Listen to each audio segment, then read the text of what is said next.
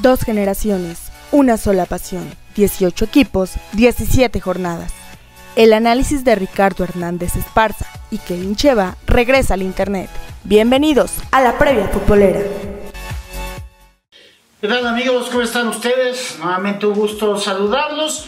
Pues entramos en materia. Saludo a Kevin. ¿Cómo estás, Kevin? Muy bien, gracias. Bienvenidos a todos a la, una previa futbolera más, ahora de la jornada número 5 de este torneo clausura 2022, que bueno, ya se va eh, viendo cómo los equipos van perfilándose. Obviamente este es el arranque, no nos emocionemos, pero al menos ya hay más eh, contundencia, ya hay más goles, ya hay más partidos pues atractivos para el público, ¿no? Exacto, y bueno, a diferencia de la fecha 4 en la que no tuvimos viernes botanero, pues retomamos esa dinámica, ¿verdad? Con los compromisos que se han este, pues establecido para este viernes. Así es, un par de encuentros tenemos para este viernes. El primero, pues si quieres, arrancamos ya con la actividad. Sí. Mazatlán que recibe a los solos de Tijuana este viernes a las 7 de la noche en el Estadio Kraken, transmisión por Azteca 7 y por ESPN. Bueno, pues hablando de los antecedentes, estas escuadras se han visto las caras tres ocasiones en la Liga MX, solo una de ellas en Mazatlán, compromiso que ganó la escuadra sinaloense.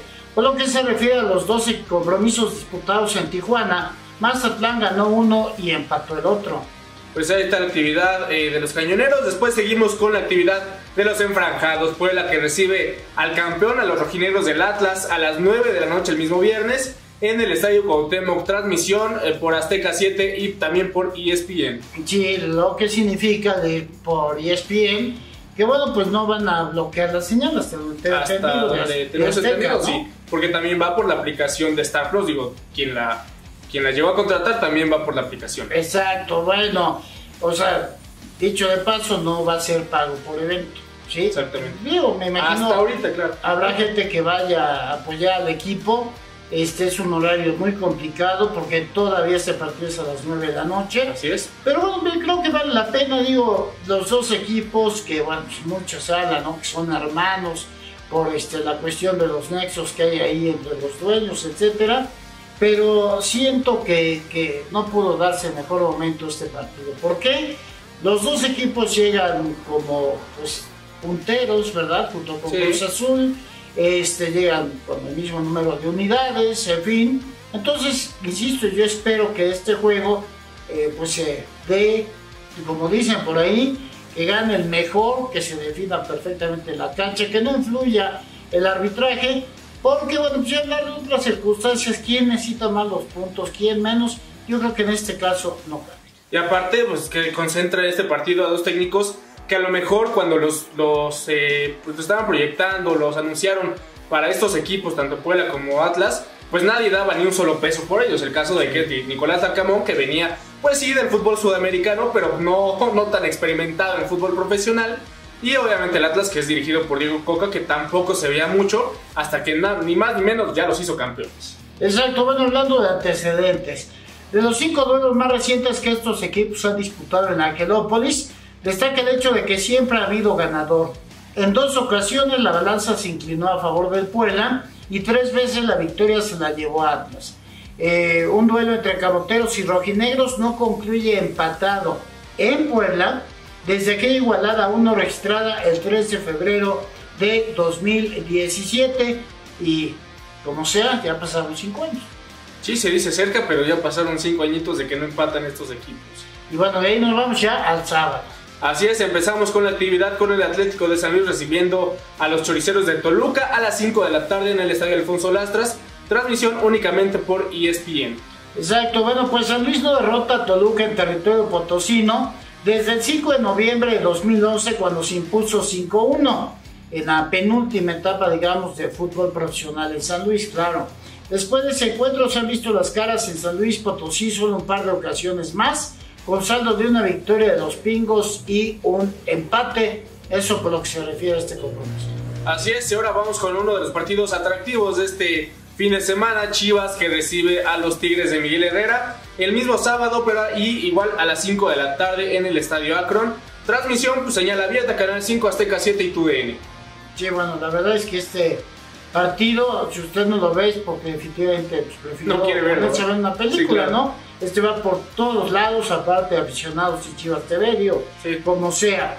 Pues del antecedente le comento que de los últimos 12 partidos que jugaron estos equipos en territorio tapatío, Guadalajara se apuntó 5 triunfos por 2 victorias de Tigres a cambio de 5 empates. Ahí está la actividad del Chiverío. Ahora nos vamos con la máquina que recibe a los Rayos de Necaxa que estrenan técnico.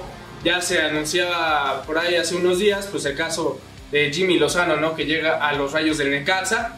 Esto es a las 7 de la tarde noche en el Estadio Azteca, transmisión por Canal 5 y por TUDN. Bueno, mencionar que de los ocho compromisos más recientes que jugaron estas escuadras en casa de los cementeros, la máquina se apuntó cinco triunfos y dos empates a cambio de una sola victoria del Necaxa. Pues ahí está, ahora nos vamos ese mismo día, cerramos la actividad eh, con el Santos que recibe a las Águilas del América a las 9 de la noche en el estadio TSM Corona. Igual señal abierta, Canal 5, Azteca 7 y TUDN por donde usted guste ver. Santos de América han ligado tres empates en el estadio TSM Corona de Torrón, Coahuila. La última vez que hubo ganador fue en el choque de ida semifinal de clausura 2018, el cual ganó el conjunto de la comarca lagunera por cuatro goles a uno. Bueno, pero si ya el América por fin se anima después de que pues ya las cosas no, no están nada, nada sencillas, no hay buen ambiente en el América y por ahí Salvolari pues, podría quedar en el camino. Pues yo creo que lo van a aguantar todo un, ratito más, digo, costó bastante como para, digo, a lo mejor en jornada 5 eh, despedirlo, pero sí necesita hacer algo porque América simplemente los jugadores no le quieren jugar, pues no sé qué va a tener que hacer. Santos tampoco es como que venga muy bien eh, emocionalmente, hay que ver, yo creo que va a ser un partido muy complicado, a lo mejor me atrevo a decir de muy pocos goles. Bueno, y el domingo, como dijera Raúl Orbañanos, duelo de fieras. Duelo de fieras Pumas contra León. El domingo al mediodía, Estadio Olímpico Universitario de CEU. E igual por señal abierta, Canal de las Estrellas, TUDN y también por ESPN. Pues Pumas no vence a León en CEU desde el 17 de octubre de 2017 cuando el escuadra universitaria se impuso a los Panzas Verdes por dos goles a cero, así que ya tiene un buen rato. Así es, y ahora nos vamos a la actividad de lunes porque recordamos que pues el domingo hay actividad de fútbol americano, el caso del Super Bowl, Bengalíes contra los Rams, así que bueno, el domingo se cancela todo, toda la actividad de fútbol mexicano, salvo la actividad de mediodía. Y ahora nos vamos al lunes, eh, Pachuca que recibe a los Gallos Blancos de Querétaro a las 9 de la noche en el Estadio Hidalgo, transmisión como siempre Fox Sports 2. Marcado dominio de Tuzos sobre Gallos Blancos en territorio hidalguense, donde de los últimos 8 enfrentamientos Pachuca se apuntó 6 triunfos a cambio de un empate y solo una vez Querétaro se llevó la victoria. Eso corresponde al fútbol que va, digo en esta fecha 5, que va a quedar un partido pendiente. Sí, otra vez, digo, por la actividad que tiene Rayados en el Mundial de Clubes, pues ya vienen de regreso prácticamente, pero todavía reprogramaron este partido de la jornada número 5, que es contra Bravos de Juárez. Digo, por si a Bravos de Juárez no le faltara ya partidos por reprogramarse, pues todavía le falta uno. Contra Monterrey en el estadio BBVA se programó para el 8 de marzo, martes 8 de marzo, a las 9.06 de la noche. Seguramente la transmisión será por Fox Sports. Sí, después de un honroso quinto lugar en, el Mundial de Clubes, bueno, pues Monterrey estará de regreso en un Mundial de Clubes que, bueno, pues disputarán este sábado la final, ¿no? Palmeiras y el conjunto del Chelsea, digo, creo que pues, desde que se habla de quién es el representante de Sudamérica y quién es el de Europa, regularmente son los que terminan disputando la final del Mundial de Clubes. Estaba leyendo por ahí que parece que en la edición siguiente del Mundial, pues ya van a ser muchos más equipos los que participen. Digo, esperemos que termine por concretarse esta situación. Y bueno, dijeran por ahí, ustedes saben que siempre le damos un espacio al fútbol femenil y particularmente al Puebla. Hay una buena y una, pues que al menos ahorita, así de expectativa, pues no se ve tan buena, ¿verdad? La buena es que por fin ya fue la femenil gana. Le dices la buena. ¿No? Derrotó a Tijuana. Y qué bueno, digo, muy buen partido. Qué bueno que, llegara la victoria, ¿no? Sobre todo. Sobre todo porque ya se necesitaba después de pues cinco o seis fechas que no se veía ni cómo se levantaba. Pues ya por fin una victoria, pero hay otra noticia. Sí, y esta no, digo, es que no sé cómo calificarla de entrada, pues sí decirles, pues no es tan buena. Que a toda que ya ganó el Puebla, ¿verdad? Para quienes son sus seguidores y seguidoras. Pero el siguiente partido, sinceramente, parece muy complicado.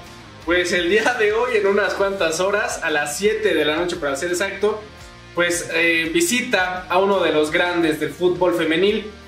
Van contra Tigres, eh, pues obviamente de la Universidad Autónoma de Nuevo León, que pues, obviamente siempre ha sido eh, de los punteros en la Liga MX femenil.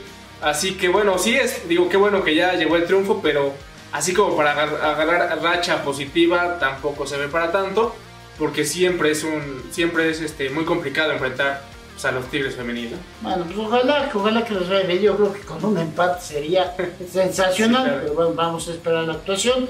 Pues esa es eh, nuestra previa de la jornada 5. Kevin, muchas gracias. No, gracias a ti. Nada, recordarles que nos sigan en nuestras redes sociales, el Facebook, estamos como de Porpuela, todo en mayúsculas. Eh, Twitter, arroba de Porpuela RH y arroba Cheva Kevin, el Instagram de Porpuela-oficial, eh, nuestro canal de YouTube, revista de Porpuela. Eh, también tenemos ahí nuestro podcast de Spotify como la previa futbolera y claro, día a día vamos subiendo noticias relevantes, lo más destacado obviamente del deporte y pues en general en www.deporpuela.com y www.deporpuela.blogspot.mx. Ahí nos pueden seguir día con día. Exacto, así que bueno, les invitamos a que pues nos sigan también, eh, parte importante en espectáculos, ¿verdad? Que afortunadamente, bueno, pues en Puebla ya, ya estamos a un muy buen nivel la cuestión de, de shows, este, eh, también información universitaria, no solamente deportiva, de área académica, de investigación, etcétera. Entonces usted puede encontrar ahí noticias de la ciudad como tal, ¿verdad? Así que bueno, les invitamos ya que vendió las redes y pues si Dios quiere nos vemos para la siguiente Así es, nos vemos para la previa de la jornada número 6, que ya no se reprogramen más partidos, así que nos vemos aquí la próxima semana. Vamos. El análisis de la jornada ha terminado. No te pierdas nuestra próxima emisión. Síguenos en Twitter, arroba de por Puebla RHE y arroba Cheva Kevin. No olvides darle like a nuestra página de Facebook, de por Puebla.